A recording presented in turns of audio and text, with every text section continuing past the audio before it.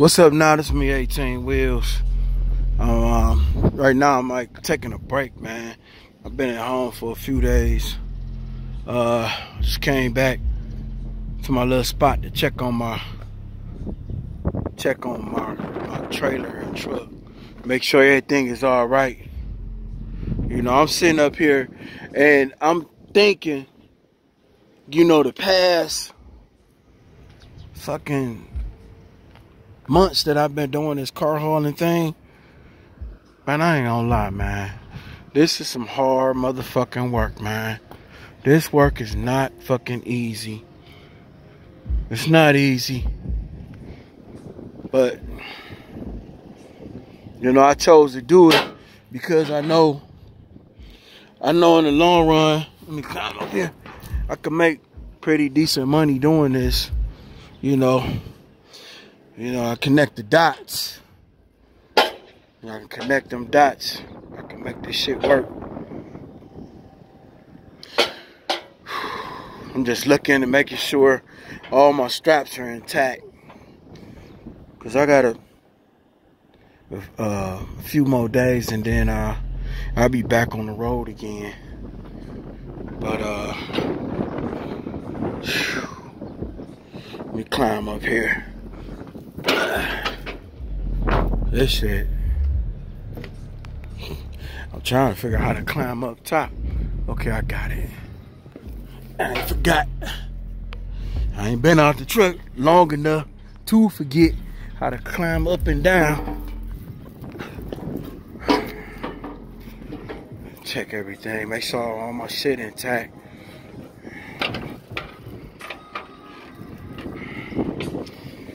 Man, it's some hard fucking work. I ain't gonna lie. This work, hauling cars, it's not fucking easy, man. It's not easy work.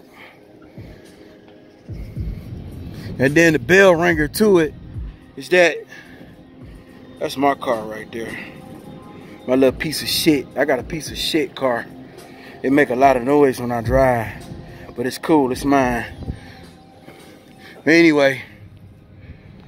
I gonna say the hardest part to doing this, these cars is not tearing up nothing. You gotta be extremely careful. And then I noticed like since the time that I've been actually doing this, I've been delivering local cars, right? People that I deliver their cars, when they like buy cars online, and then you got some people that move cars cross country because they might be moving to a new location or something. You know, just moving business moves, various reasons. People got a billion reasons why they move cars. Anyway, I noticed everybody wants to be right there when I pull up with the truck. They want to see me unload the car off the truck. They want to see how it's done. I mean, I don't know. I think it's more of a factor that they want to make sure I don't tear up nothing. I think that's a factor too. And then out of curiosity, you know, they probably wondering, well, how the hell do he work those ramps? How do he get them off of there? You know, a lot of people, I have every, everybody, everybody now. I'm telling you, I done hauled a lot of cars in the, uh, what, about 11 months I've been doing this? No, I've been doing this no, wait a minute. Yeah, about 11 months. Uh, I think 11 months. Well, anyway, I haven't ran into not one person say, nah, I don't want to see you take it off. Everybody say I want to take it. I want to be right there when you load. I, hey, I done had people wait to see me load the car on the trailer. And generally, it take on the average, I mean, just it depends what spot I'm putting it on the trailer. It can take me up to like 45 minutes if I got to break the whole trailer down and then rebuild it back up. And then, especially if I'm loading, holding, loading, loading the car on top, like right up here. This shit, man. I'm telling you, this shit is, is crazy. But I understand people that want to see you load their car and unload their cars. I understand that.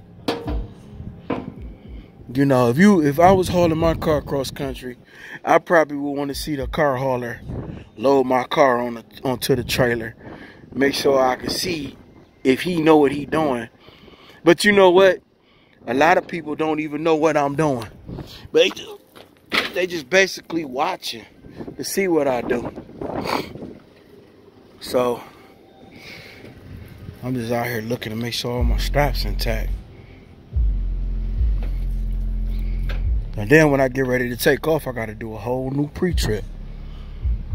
I gotta make sure everything is good. I haven't start. This truck has been shut down for about a week now. So it's my time. It's time to get back on that road. Make this shit work. You know, spin these tires, man. It's starting to rain right now, but it's all good. I still sometimes can't believe I'm hauling cars now.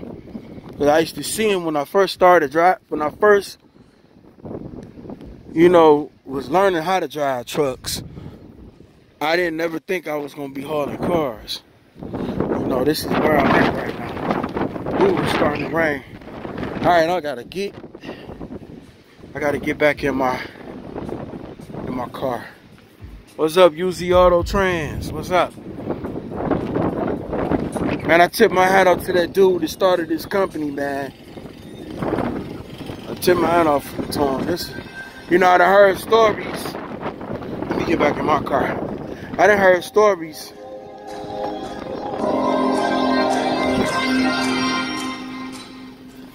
I done heard stories like, let me take my glasses off. I done heard stories on how how this dude actually started the company and you know not just him, like multiple multitudes of people that got trucking companies. Let me wipe this off. Hey, come on. You know, I didn't I didn't heard stories, you know, the ups and downs and stuff like that. I mean, I guess you do gotta love what you do in order to persevere doing it. But you know, turn this around. It is what it is.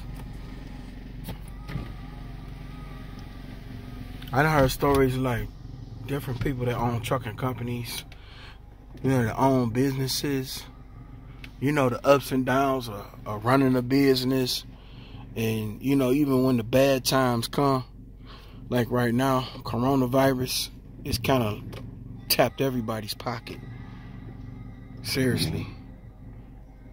But, uh, oh well, I just came out here actually just to sit back here and just overlook the truck, make sure everything good. You know, cause uh, I'm taking off, and um, I still got more than a few days, but I'll be taking off some. And um, that's it. All right, Joe. It's 18 Wills. I'm finna go in the house. I'm finna enjoy my little stay at home. I had some business business I had to take care of.